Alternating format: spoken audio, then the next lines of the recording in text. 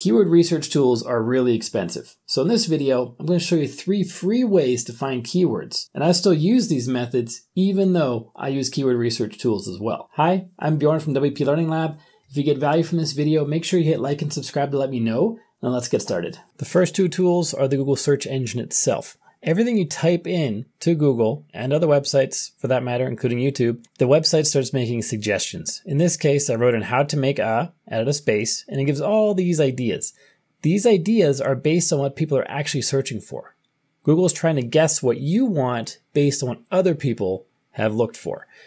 Then we can add the letter A afterwards. And we have everything that starts with A. How to make A and whatever. Make it a B, get a whole bunch more keywords. C, D, E, F, you get the idea. You can also narrow it down even more. So in this case, the top one is how to make French toast. Let's see what else we can do in French.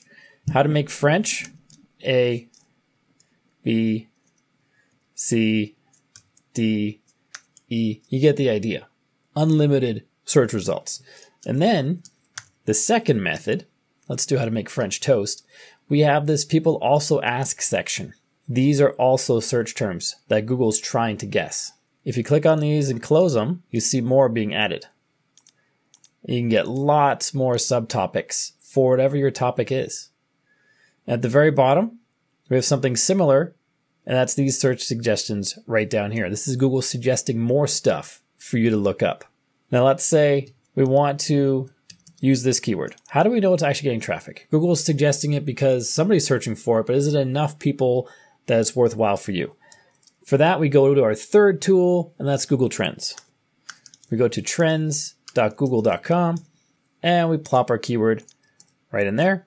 Click on Explore, and we can see this has some search volume.